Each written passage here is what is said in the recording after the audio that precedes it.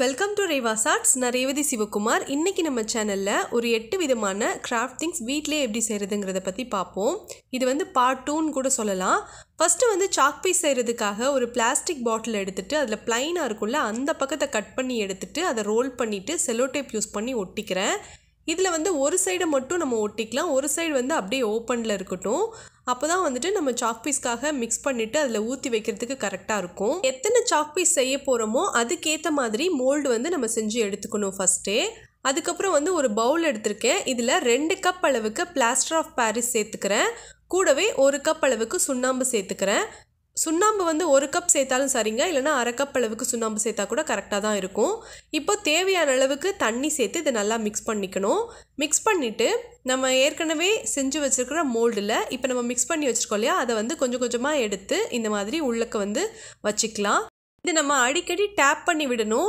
Airlock ஆகியிருந்தது அப்படின்னா chalk piece வந்து try ஆனதுக்கப்புறம் எடுக்கும்போது உடஞ்சிருக்கும். அதுக்காக தான் டேப் பண்ணி விட்டு அதுக்கப்புறம் நம்ம வந்து உள்ளக்க நல்லாவே வந்து கேப் இல்லாமல் அதை ஃபில் பண்ணிக்கணும். இப்போ வந்து கலர் சாக் பீஸ் செய்கிறதுக்காக ஃபுட் கலர்ஸ் எடுத்து வச்சுருக்கேன். ஃபஸ்ட்டு வந்து கேசரி பவுடர் இருக்கு இல்லையா? அது வந்து கொஞ்சம் சேர்த்துட்டு இதை நல்லா மிக்ஸ் பண்ணிக்கிறேன். கலர் சாக் பீஸ் செய்கிறதுக்காக போஸ்டர் கலர் அக்ரலிக் பெயிண்ட் அதுக்கப்புறம் வாட்டர் கலர் இதெல்லாம் எடுத்துட்டு அதில் கொஞ்சம் தண்ணி சேர்த்துட்டு அதுக்கப்புறம் வந்து அந்த கலர் வாட்டரை இதில் சேர்த்து நீங்கள் வந்து கலர் சாக் பீஸ் பண்ணிக்கலாங்க. ஆல்ரெடி நம்ம செஞ்சு வச்சுருந்த அந்த மோல்டில் எல்லாத்துலேயுமே நம்ம வந்து சாக் பீஸ்க்காக நம்ம ஃபில் பண்ணி வச்சுருக்கோம். அதனால இப்போ மறுபடியும் ஒரு அட்டை எடுத்துகிட்டு அதை வந்து நான் ரோல் பண்ணிவிட்டு செலோடேப் யூஸ் பண்ணி ஒட்டிக்கிறேன். அட்டை அல்லது பிளாஸ்டிக் பாட்டில் அல்லது ஓஹெச்பி ஷீட் இந்த மாதிரி உங்களுக்கு எது இருக்கோ அதை யூஸ் பண்ணி நீங்கள் மோல்டு செஞ்சுக்கோங்க. இப்போ வந்து கலருக்காக நான் வந்து உஜாலா சொட்டு நீளம் சேர்த்து இதை நல்லா மிக்ஸ் பண்ணிக்கிறேன். மிக்ஸ் பண்ணிவிட்டு இதையும் ஃபஸ்ட்டு நம்ம எப்படி ஒயிட் சாக் பீஸ்க்காக ஃபில் பண்ணமோ அதே மாதிரி இதை ஃபில் பண்ணி வச்சுக்கிறேன். ஹோல் டே நம்மக்கிட்ட இல்லைனா கூட நம்ம வந்து இந்த நம்ம மிக்ஸ் பண்ணி வச்சுருக்கிறத அப்படி கையில் எடுத்துகிட்டு அப்படியே வந்து கையில் வச்சு ரோல் பண்ணிவிட்டு நம்ம இதை ட்ரை ஆகிறதுக்காக வச்சிடலாம்.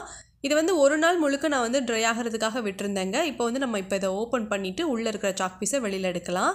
எல்லாமே ரொம்பவே பர்ஃபெக்டாக வந்திருக்கு. நம்ம வந்து அந்த ஏர்லாக் ஆகாமல் அழகாக டேப் பண்ணி விட்டு அதுக்கப்புறம் வந்து ஃபில் பண்ணதுனால இப்படி உடையாமல் வந்திருக்கு.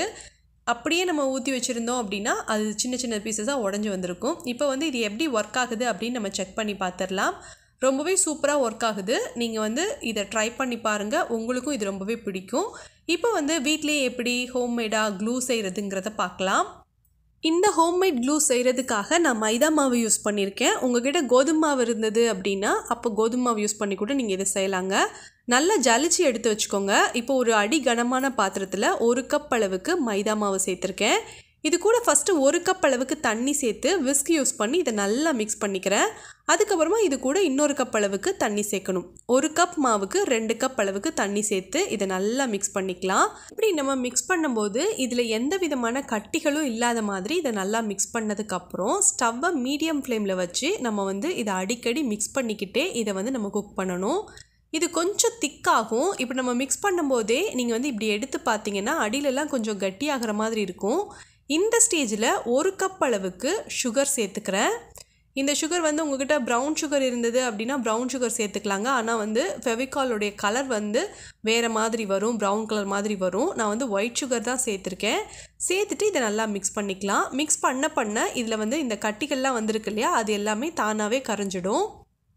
இதை வந்து நல்லா மிக்ஸ் பண்ணிகிட்டே இருக்கணும். மீடியம் ஃப்ளேம்லேயே வச்சு குக் பண்ணுங்கள் இது வந்து நல்லா குக் ஆனால் மட்டும்தான் நம்மளுக்கு வந்து பர்ஃபெக்டான க்ளூ கிடைக்கும். அதுக்கப்புறம் இதை நல்லா மிக்ஸ் பண்ணதுக்கப்புறம் இது கூட வந்துட்டு நான் ஒரு ரெண்டுலேருந்து மூணு ஸ்பூன் அளவுக்கு வினிகர் சேர்த்துக்கிறேன். வினிகர் சேர்க்கறதுனால இந்த க்ளூ வந்து ரொம்ப நாளைக்கு கெட்டு போகாமல் நல்லாயிருக்கும் இப்போ ஊறுகாலாம் நம்ம செய்யும்போது வினிகர் சேர்ப்போம். எதுக்காக அப்படின்னா அது வந்து கெட்டு போகாமல் இருக்கணுன்றதுக்காக தான். இப்போ இது கூட ஒரு ஹாஃப் டீஸ்பூன் அளவுக்கு பேக்கிங் சோடா சேர்த்து நல்லா மிக்ஸ் பண்ணிக்கணும்.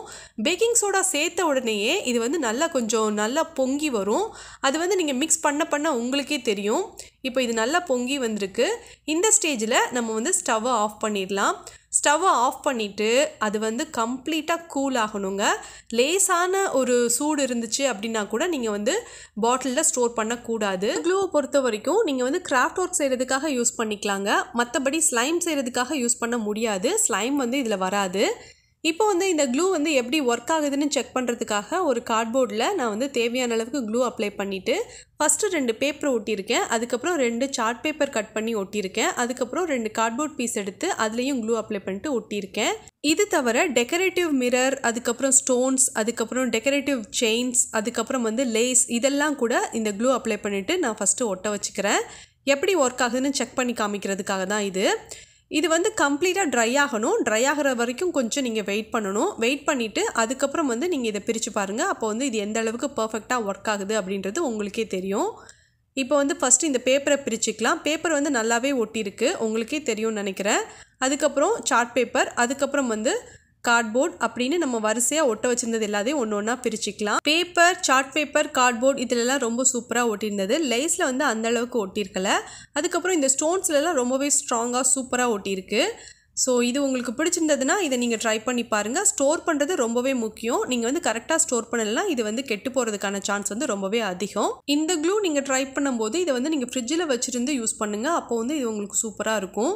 இப்போ வந்துட்டு கார்ட்போர்ட் யூஸ் பண்ணி ஏர்ட்ரைக்லே எப்படி செய்கிறதுன்னு பார்க்கலாம். இதுக்காக நான் ஒரு பவுலில் இந்த கார்ட்போர்ட் பீஸ் எடுத்து அதை சின்ன சின்ன பீஸஸாக கட் பண்ணிவிட்டு நான் சேர்த்துருக்கேன். இது கூட தேவையான அளவுக்கு சுடு தண்ணி சேர்த்து இதை நல்லா சோக் பண்ணிக்கிறேன். நீங்கள் வந்து பச்சை தண்ணியில் ஊற வைக்கிறதுனால ஊற வைக்கலாங்க. அப்படின்னா ஒரு நாள் முழுக்க ஊற வைக்கிற மாதிரி இருக்கும். சுடு தண்ணி சேர்த்திங்க அப்படின்னா ஒரு எட்டு மணி நேரம் ஊற வச்சிங்கன்னா கரெக்டாக இருக்கும். இப்போ வந்து இது நல்லா ஊறிடுச்சு. இதை எடுத்து நான் மிக்சி ஜாரில் சேர்த்துட்டு தேவையான அளவுக்கு தண்ணி சேர்த்து இதை நல்லா நான் அரைச்சி எடுத்துக்கிறேன்.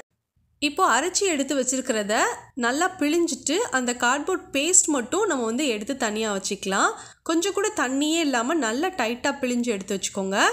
அதுக்கப்புறம் இது கூட தேவையான அளவுக்கு க்ளூ சேர்த்து சேர்த்து இதை நல்லா மிக்ஸ் பண்ணிக்கணும்.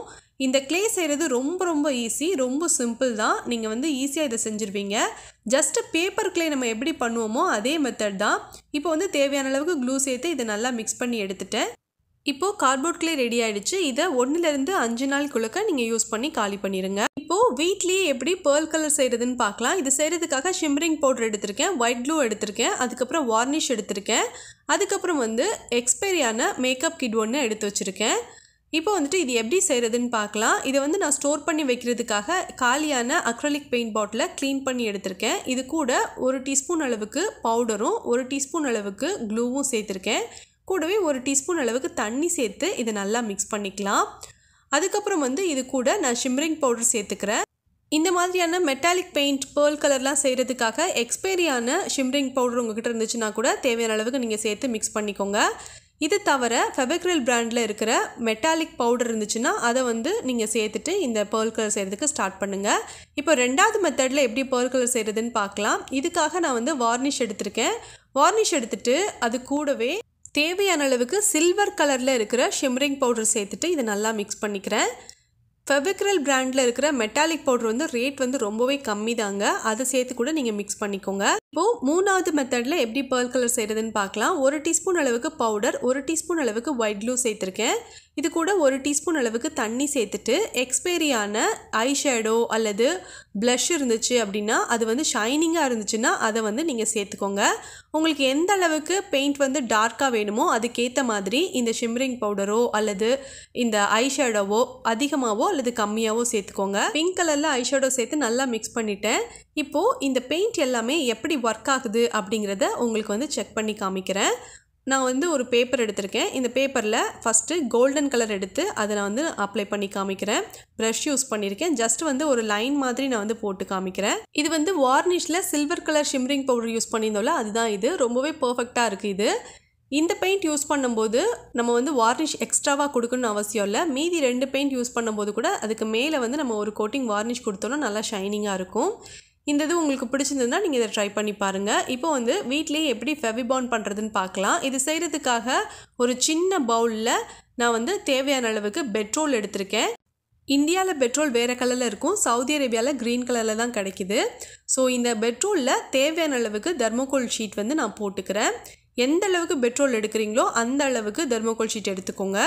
பெட்ரோலில் தெர்மோகோல் ஷீட் ரியாக்ட் ஆகிறத பார்க்குறதுக்கே ரொம்பவே சூப்பராக இருக்கும். இப்போ வந்து தேவையான அளவுக்கு இந்த தெர்மோகோல் ஷீட் நம்ம யூஸ் பண்ணதுக்கப்புறம் இந்த க்ளூ இருக்குது பார்த்தீங்களா இதை எடுத்து நம்ம வந்து கிராஃப்ட் ஒர்க் செய்கிறதுக்கு யூஸ் பண்ணலாம். இது வந்து ஃபயர் ப்ரூஃப் கிடையாதுங்க.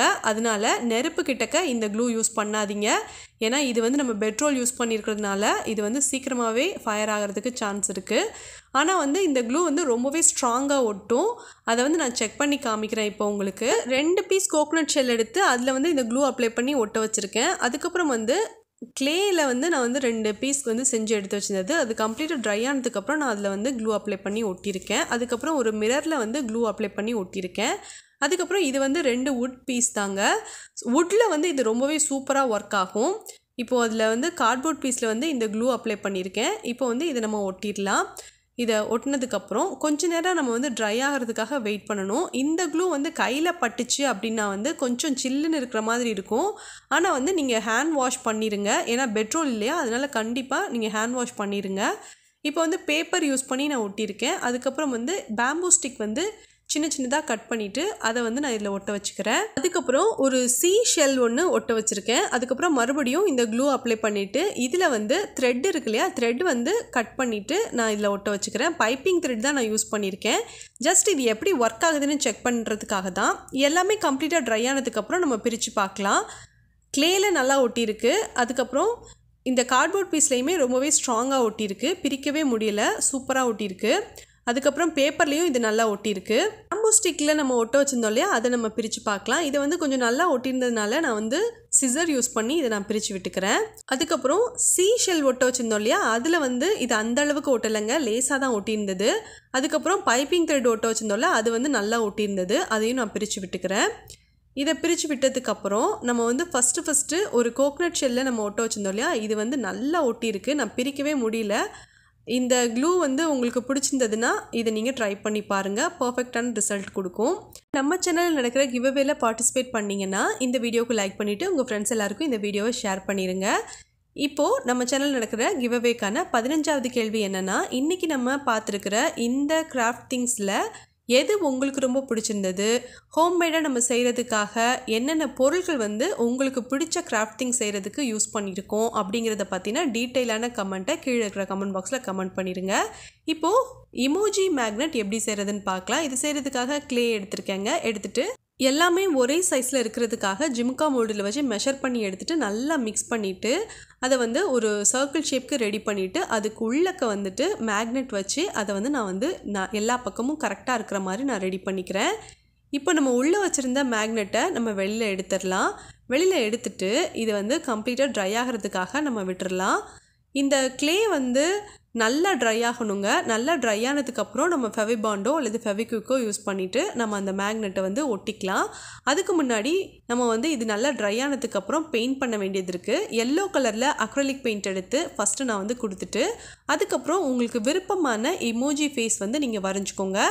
இப்போது ஒரு சைடு பெயிண்ட் பண்ணியாச்சு அது கம்ப்ளீட்டாக ட்ரை ஆனதுக்கப்புறம் அடுத்த சைடையும் திருப்பி வச்சு பெயிண்ட் பண்ணிட்டேன். உங்களுக்கு வேணும்னா நீங்கள் டபுள் கோட்டிங் கூட கொடுத்துக்கலாங்க. பட் நான் வந்து சிங்கிளாக ஒரே ஒரு கோட்டிங் மட்டும் கொடுத்துட்டு ஜஸ்ட் நான் வந்து இந்த இமோஜி ஃபேஸ் வந்து வரைஞ்சிக்கிறேன். உங்களுக்கு பிடிச்சதை நீங்கள் வரைஞ்சிக்கோங்க. நான் வந்து இப்போது ரெண்டு கண்ணில் வந்து ஹார்ட் இருக்கிற மாதிரி வரைஞ்சிக்கிறேன். அதுக்கப்புறம் இது நல்லா ஸ்மைல் பண்ணிகிட்ருக்கிற மாதிரி நான் வரைஞ்சிக்கிறேன். அதுக்கப்புறம் இன்னொரு எமோஜி மேக்னெட்டும் நான் செய்ய போகிறேன் மேக்னெட் வந்து நீங்கள் எந்த சைஸ்க்கு எடுக்கிறீங்களோ அதுக்கேற்ற மாதிரி நீங்கள் வந்து இந்த இமோஜி மேக்னெட் வந்து செய்கிறதுக்காக க்ளேவை ரெடி பண்ணிக்கோங்க.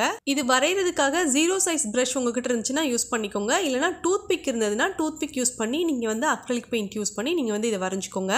அதே மாதிரி இந்த மேக்னெட் செய்கிறதுக்காக ஃபஸ்ட்டு நீங்கள் க்ளே எடுத்து ரோல் பண்ணுறீங்களே அதை நல்லா மிக்ஸ் பண்ணிவிட்டு அதுக்கப்புறம் எந்த விதமான கீறல்களும் வெடிப்புகளும் இல்லாத மாதிரி நீங்கள் இதை செஞ்சுக்கோங்க.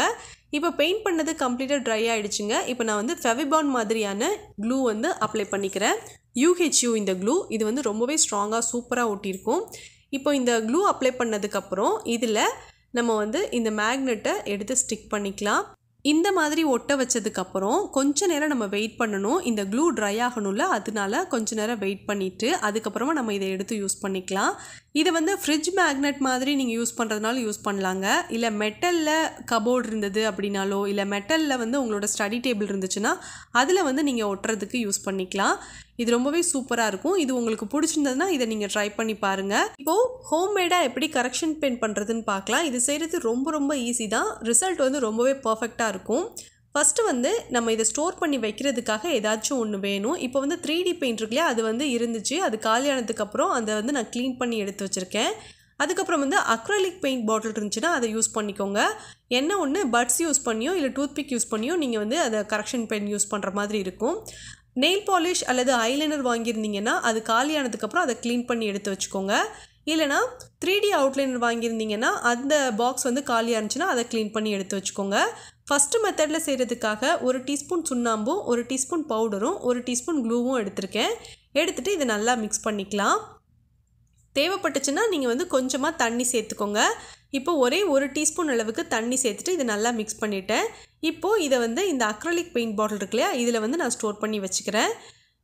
இதை வந்து யூஸ் பண்ணும்போது பட்ஸ் யூஸ் பண்ணிக்கணும் இல்லைனா டூத்பிக் யூஸ் பண்ணிக்கணும். இப்போ வந்து அக்ரலிக் பெயிண்ட் வந்து ரெண்டு டீஸ்பூன் எடுத்திருக்கேன். இது கூட ஒரு டீஸ்பூன் அளவுக்கு ஒயிட் க்ளூவும் ஒரு டீஸ்பூன் அளவுக்கு தண்ணியும் சேர்த்து இதை நல்லா மிக்ஸ் பண்ணிக்கிறேன். இது வந்து ரொம்ப ரொம்ப பெஸ்ட்டான ரிசல்ட் கொடுக்கும். ஸோ இதை வந்து நீங்கள் ட்ரை பண்ணி பாருங்கள் ஃபஸ்ட்டு மெத்தடை விட செகண்ட் மெத்தட் வந்து ரொம்பவே நல்லாயிருக்கும். இப்போது இதை வந்து நான் ஃபில் பண்ணி வச்சுருக்கேன். இப்போ நான் இதை செக் பண்ணி காமிக்கிறேன். அப்போ வந்து உங்களுக்கு வித்தியாசம் நல்லாவே தெரியும். இது வந்து நம்ம செகண்ட் மெத்தடில் செஞ்சுருந்தது. இது வந்து ரொம்ப சூப்பராக இருக்கும். உங்களுக்கு வந்து சுண்ணாம்பு கிடைக்கல அப்படின்னா அக்ரலிக் பெயிண்ட் வந்து உங்ககிட்ட இருக்கும் இல்லையா? ஈஸியாகவே கிடைக்கும். ஸோ அதனால் ஃபஸ்ட் மெத்தடை விட செகண்ட் மெத்தட் வந்து உங்களுக்கு ரொம்ப ஈஸியாக இருக்கும். செகண்ட் மெத்தடில் கூட ஹோம்மேடாக ஒயிட் கலர் அக்ரலிக் பெயிண்ட் செஞ்சுருக்கீங்கன்னா அதை யூஸ் பண்ணி நீங்கள் வந்து இதை செய்யலாங்க. சுண்ணாம்பு வந்து உங்ககிட்ட கிடைச்சது அப்படின்னா நீங்கள் ஃபஸ்ட் மெத்தட் யூஸ் பண்ணி பாருங்கள் இப்போது இது உங்களுக்கு பிடிச்சிருந்ததுன்னா இதை நீங்கள் ட்ரை பண்ணிவிட்டு எப்படி இருந்ததுன்றத கமெண்ட்டில் சொல்லுங்கள் வீட்லேயே எப்படி கிளிட்டர் அவுட்லைனர் பண்ணுறதுன்னு பார்க்கலாம். இது செய்கிறதுக்காக நான் நாலு ஸ்பூன் அளவுக்கு வாட்டிகா ஷாம்பு எடுத்திருக்கேன். ஒயிட் கலரில் இருக்கிற எந்த ஷாம்பு வேணாலும் நீங்கள் யூஸ் பண்ணிக்கலாம். இது கூடவே கால் டீஸ்பூன் அளவுக்கு பவுடர் சால்ட் சேர்த்துருக்கேன். சேர்த்துட்டு நல்லா மிக்ஸ் பண்ணிட்டேன். இப்போது ஒயிட் க்ளூ எடுத்திருக்கேன். மூணுலேருந்து நாலு டீஸ்பூன் வரைக்கும் கூட இந்த க்ளூ நீங்கள் சேர்த்துக்கலாங்க. நான் வந்து மூணு டீஸ்பூன் அளவுக்கு ஒயிட் க்ளூ சேர்த்துக்கிறேன். சேர்த்துட்டு இதை நல்லா மிக்ஸ் பண்ணிக்கிறேன். இது நல்லா மிக்ஸ் பண்ணதுக்கு அப்புறம் உங்களுக்கு வந்து பெயிண்ட் வேணும் அப்படின்னு நினச்சிங்கன்னா நீங்கள் வந்து பெயிண்ட் சேர்த்துட்டு அதுக்கப்புறமா நீங்கள் கிளிட்டர்ஸ் வந்து மிக்ஸ் பண்ணிக்கோங்க. பட் நான் வந்து இன்றைக்கி பெயிண்ட் சேர்க்கலைங்க. கோல்டன் கலரில் கிளிட்டர்ஸ் வந்து நான் இதில் சேர்த்துக்கிறேன். சேர்த்துட்டு நல்லா மிக்ஸ் பண்ணிக்கிறேன். இதை நல்லா மிக்ஸ் பண்ணதுக்கு அப்புறம் எனவே த்ரீ டி அவுட்லைனர் வாங்கி அது காலியான பாக்ஸ் இருந்துச்சு. அதை வந்து க்ளீன் பண்ணிவிட்டு அதில் வந்து நான் இதை ஃபில் பண்ணி எடுத்து வச்சுருக்கேன். இங்கே உங்களுக்கு பிடிச்சமான கலர்களில் கிளிட்டர் சேர்த்துக்கோங்க. கிளிட்டர் சேர்க்கும் போது கொஞ்சமாக பெயிண்ட் சேர்த்திங்க அப்படின்னா இன்னுமே சூப்பராக இருக்கும். இப்போ நம்ம ஏற்கனவே எடுத்து வச்சுருந்ததில் கோல்டன் கலரில் ஷிம்ரிங் பவுடர் சேர்த்துருக்கேங்க. ஷிம்ரிங் பவுடர் சேர்க்கும் போது இது வந்து ரொம்பவே சூப்பராக இருக்கும். இது வந்து நம்ம கடையில் வாங்குகிற golden colour three D outliner மாதிரியே இருக்கும். ரொம்ப ரொம்ப பெஸ்ட்டான ரிசல்ட் உங்களுக்கு கொடுக்கும். இப்போ இதையுமே நான் ஃபில் பண்ணிட்டேன். இப்போ இது எல்லாமே எப்படி ஒர்க் ஆகுது அப்படிங்கிறத உங்களுக்கு நான் செக் பண்ணி காமிக்கிறேன். இது வந்து நம்ம அப்போவே நம்ம யூஸ் பண்ணுறத விட நீங்கள் வந்து இதை யூஸ் பண்ணிவிட்டு கொஞ்சம் ட்ரை ஆனதுக்கு அப்புறமா பார்த்தீங்க அப்படின்னா இது எந்த அளவுக்கு ஷைனிங்காக இருக்குன்றது உங்களுக்கு கிளியராக தெரியும். இப்போ வந்து நான் இதை யூஸ் பண்ணி காமிக்கிறேன். ஒருவேளை நீங்கள் கோல்டன் கலரில் கிளிட்டர் சேர்த்து செஞ்சிருந்தது அதிகமாக இருந்துச்சுன்னா அதில் எல்லா கலர் கிளிட்டர்ஸையும் கொஞ்சம் கொஞ்சம் சேர்த்துட்டீங்க அப்படின்னா மல்டி கலர் கிளிட்டர் அவுட்லைனர் உங்களுக்கு ரெடி ஆகிடும் இந்த வீடியோ உங்களுக்கு பிடிச்சிருந்துன்னா இந்த வீடியோவுக்கு லைக் பண்ணுங்கள் உங்கள் ஃப்ரெண்ட்ஸுக்கு ஷேர் பண்ணுங்கள் தேங்க்ஸ் ஃபார் வாட்சிங்